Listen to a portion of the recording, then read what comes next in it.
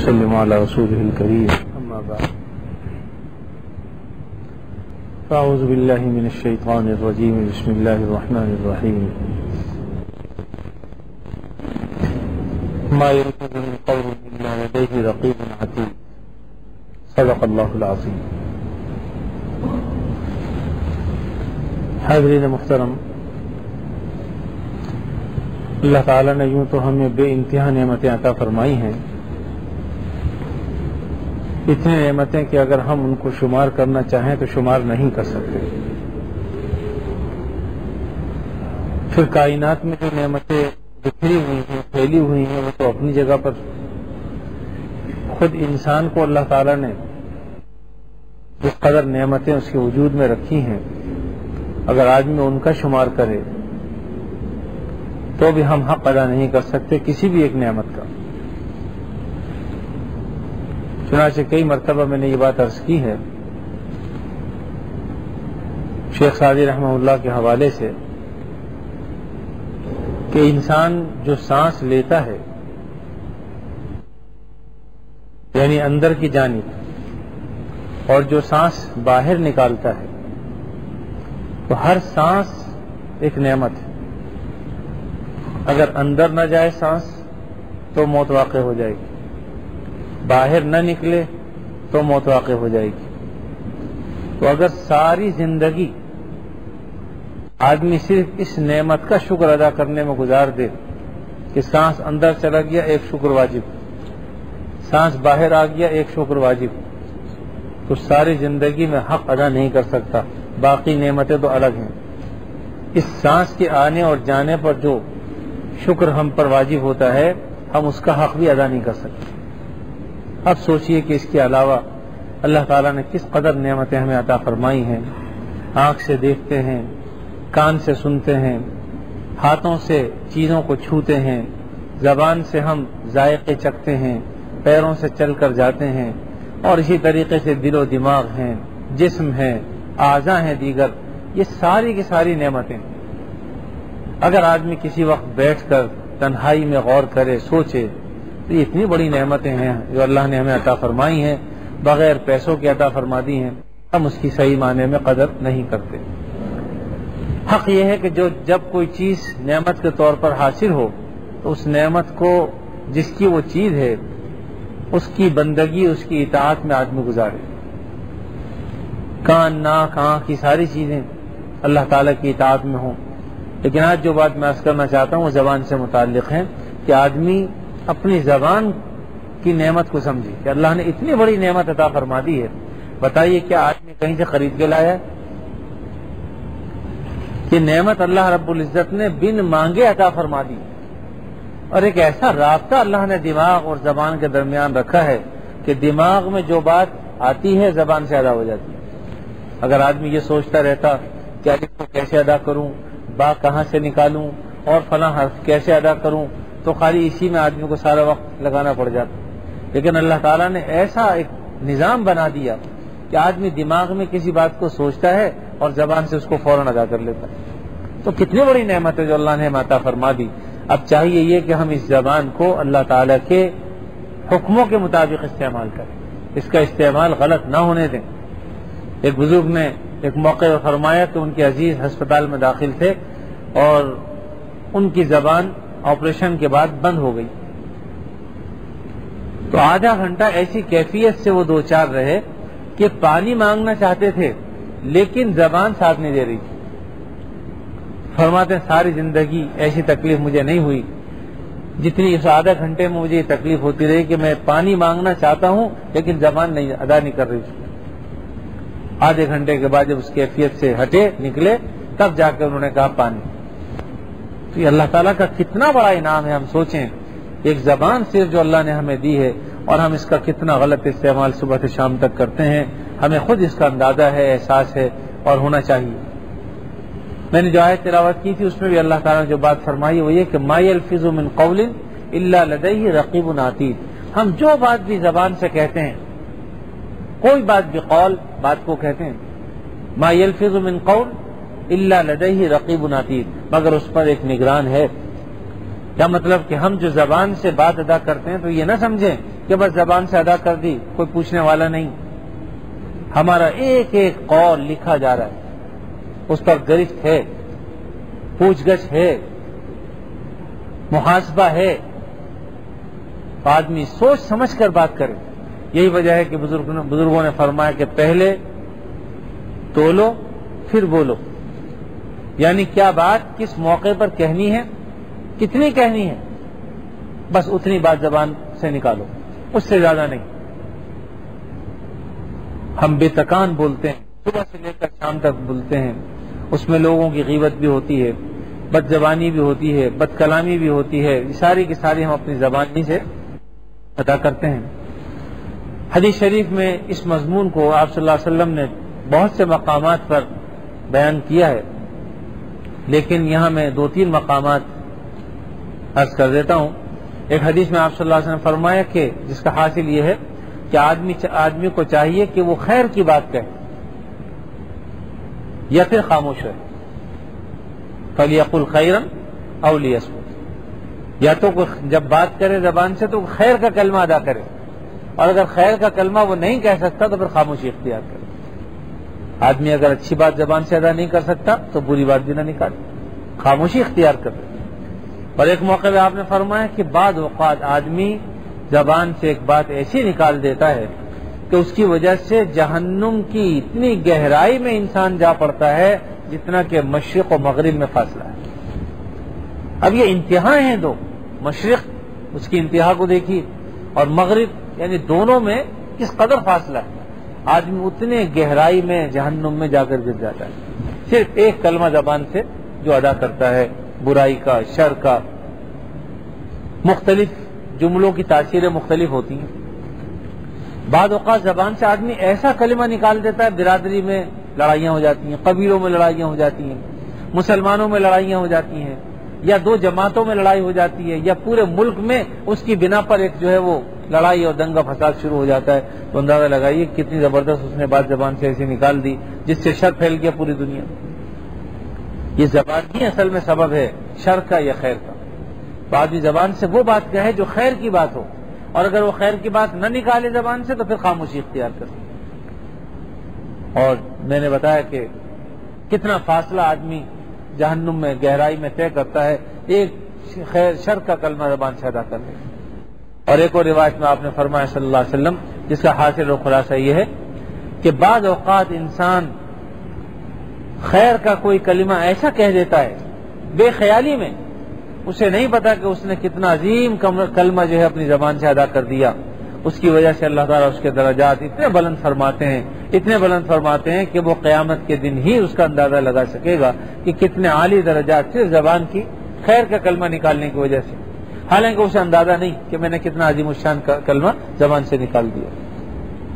اور فرمایا کہ بعض اوقات انسان زبان سے ایسا کلمہ نکال دیتا ہے کہ وہ جہنم کا مستحق بن جاتا ہے۔ اس لیے جب ہم کوئی کلمہ ادا کریں، نکالیں، تو سوچ سمجھ کر کہ ہم جو بات کہہ رہے ہیں وہ درست ہے یا نہیں۔ تو بہرحال اس سے بہت ساری چیزیں بات ثابت ہو گئی کہ زبان ایک عظیم نعمت ہے، لیکن اسی وقت تک ہے جب تک کہ ہم اس نعمت کی قدر کریں۔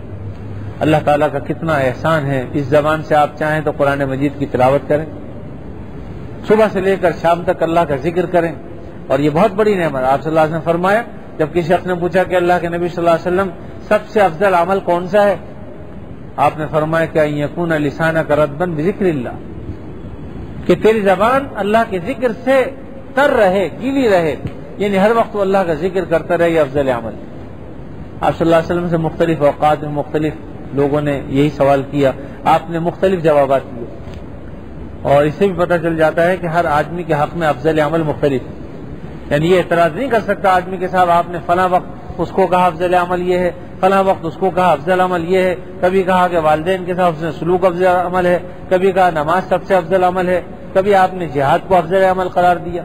تو ہر آدمی کی، کے اعتبار سے آپ نے بتایا۔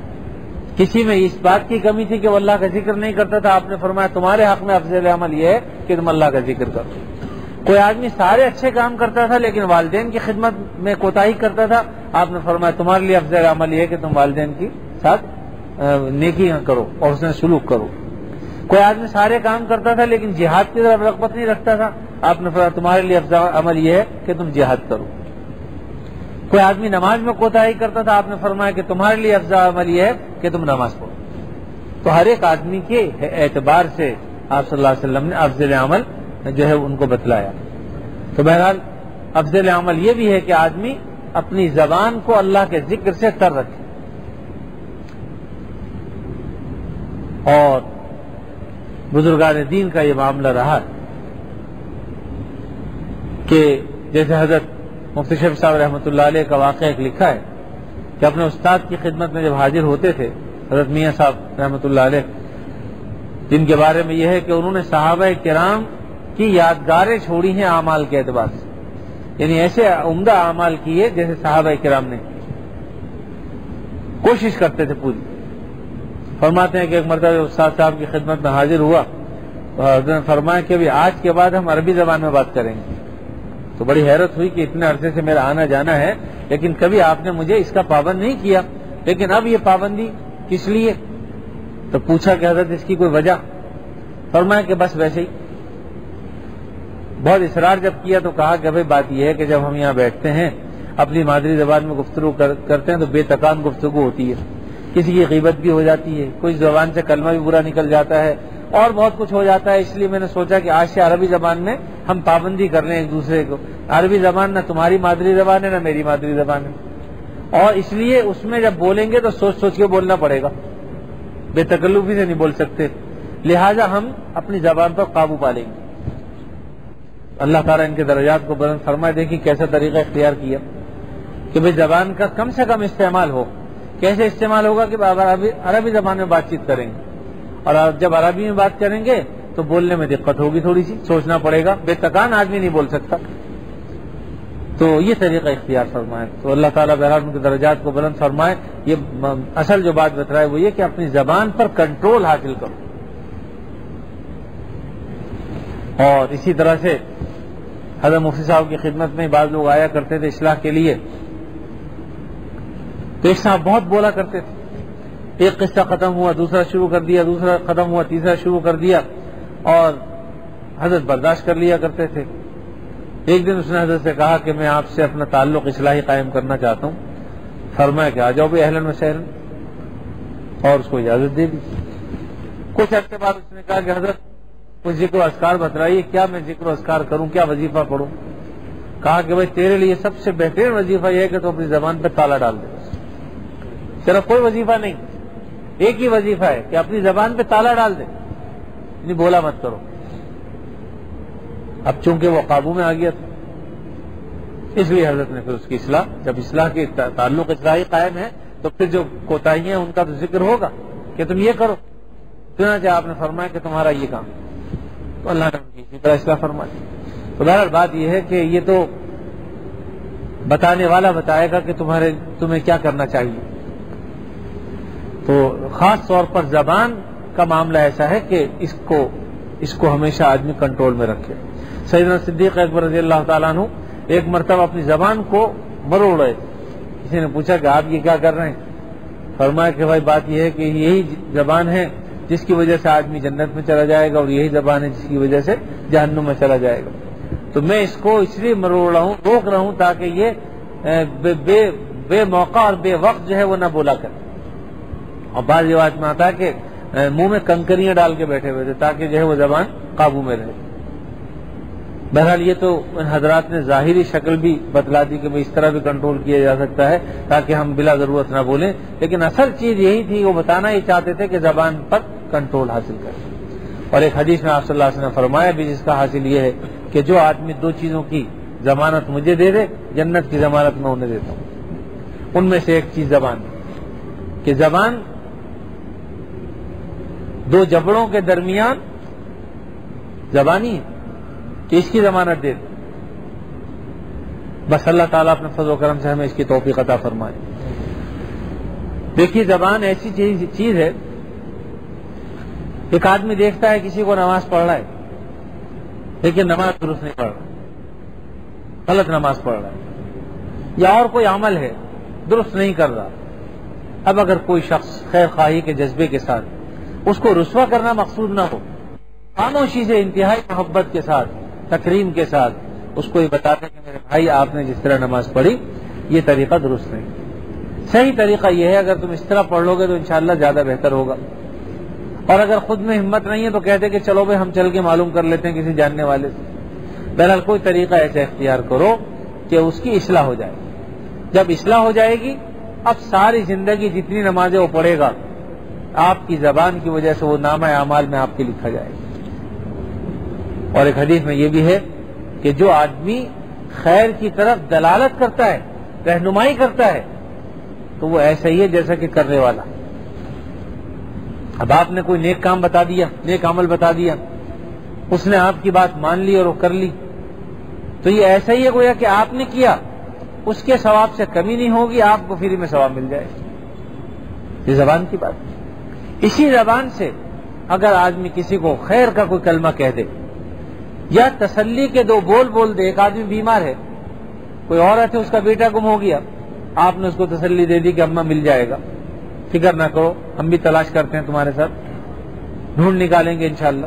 کوئی خیر کی بات، کلمہ کہہ دیا، درجات جنت میں بلد ہو جائے۔ کوئی غم کی خبر مل گئی، اسی زبان سے ہم کہتے ہیں للہ و انا راجو اور حدیث میں آتا بھی ہے اس کا بھی کہ جس نے تعزیت کی کسی سے، اب تعزیت آدمی کیسے کرے گا؟ زبان سے کرے گا۔ تعزیت، اور تعزیت اصل جو ہے وہ یہ ہے، عزم اللہ اجرکم۔ اللہ تعالیٰ تمہیں اس مصیبت پر اجر عظیم عطا فرمائے۔ مختصر سا جملہ۔ لیکن ثواب کے اعتبار سے بے انتہا۔ بہت سارے جملے ایسے ہیں، آدمی کو مختصر سے معلوم ہوتے ہیں، لیکن آدمی کو نہیں پتا کہ اس کی وجہ سے اس کے کتنے درجات بلند ہو جاتے ہیں۔ یہی زبان ہے کہ آدمی کافر ہے کفریہ کلمات بکرا ہے، لیکن اس کے بعد مسلمان ہوتا ہے اشد اللہ الہ الا اللہ و اشد اللہ محمد و رسول اس زبان کو ہلایا، دیکھیے، سارے گناہ اس کے معاف ہو۔ ایک عورت جو غیر ہے، جس سے ہمارا کوئی تعلق نہیں، یہی زبان سے جب کہتا ہے، میں نے قبول کیا، اور لڑکی بھی کہتی ہے، میں نے قبول کیا، نکاح ہو گیا، میاں بیوی بن گئے ہمارے ایک دوست یہ بات کہتے ہیں، اور بات بھی صحیح ہے کہ ہزاروں عورتیں ہیں۔ لیکن ایک عورت جس کے ساتھ آپ کا نکاح کا تعلق ہے، اس کے ساتھ آپ جو کچھ کرتے ہیں، وہ عین ثواب اور عین عبادت، اس کے حقوق کی ادائیگی میں شامل۔ لیکن اگر وہی عمل کسی غیر عورت کے ساتھ آدمی کرے، سخت گنا اور عذاب کا کام۔ ایک زبان سے دو لفظ آپ نے ادا کیے ہیں۔ قبل تو میں نے قبول کیا۔ عورت بھی یہ کہتی ہے قبل تو میں نے قبول کیا۔ اس زبان کی وجہ سے نکاح ہو گیا۔ ایجاب و قبول کا نام اصل میں نکاح۔ اسی طرح سے دیگر مثالیں تو بے انتہا ہیں کہ آدمی دیتا رہے۔ کہ اس زبان سے ہم کہاں سے کہاں پہنچ جاتے ہیں۔ اب زبان سے جب کلمہ پڑھ لیا، اس سے پہلے کافر، لیکن لا الہ الا اللہ محمد رسول اللہ پڑھ لیا مسلمانوں کو پچھلے سارے گناہ معاف کر دیتے ہیں اللہ تعالیٰ۔ تو صرف زبان کی برکات ہے۔ تو یہی زبان ہے ایک حدیث میں آتا ہے، بلکہ بخاری شریف کے ختم میں جو لوگ جاتے رہتے ہیں انہیں معلوم ہے کہ سبحان اللہ و بحمدہ، سبحان اللہ العظیم کے بارے میں جو حدیث شریف میں آتا ہے کہ کلیمتان حبیبتان الرحمان ثقیلتانی فی المیزان خفیفتانی علی اللسان، کہ دو کلمے ہیں کلیمتانی دو کلمے حبیبتانی جو محبوب ہیں الی الرحمان رحمان کو، اللہ رب العزت کو۔ اور ثقیلتانی فی المیزان، میزان کو بھر دینے والے ہیں، ان کے لیے بھاری بھرکم خفیفتانی علی اللسان، زبان پر بہت ہلکے ہیں۔ یعنی ان کی ادائیگی آسانی سے ہو جاتی ہے، لیکن تم آسانی سے وہ کلمہ ادا کرتے ہو اور میزان کو بھر دیتے ہو۔ لازمی بات ہے، وہ آدمی زبان سے کلمہ ادا کرے گا نا۔ اور وہ کیا ہے؟ سبحان اللہ و بحمدہ، سبحان اللہ العظیم۔ مختصر کا جملہ. دو کلمے ہیں لیکن یہ. ایک حدیث میں آتا ہے کہ آدمی جب کہتا ہے سبحان اللہ میزان میزان کا جو پلڑا ہے، آدھا وہ بھر جاتا ہے. جب ایک اور مرتبہ کہتا ہے سبحان اللہ، پورا پلڑا بھر جاتا ہے. اب اندازہ لگائیے کہ آدمی اس زبان کی بدولت کتنے اجر و ثواب، کتنے درجات کی بلندیاں حاصل کر سکتا ہے؟ تو ہم میں سے کون ہے جو ان نیکیوں کی طرف بڑھ کر قدم نہیں بڑھائے گا یا رغبت نہیں رکھے گا؟ کیونکہ یہ درجات عالیہ تک انسان کو پہنچاتے ہیں۔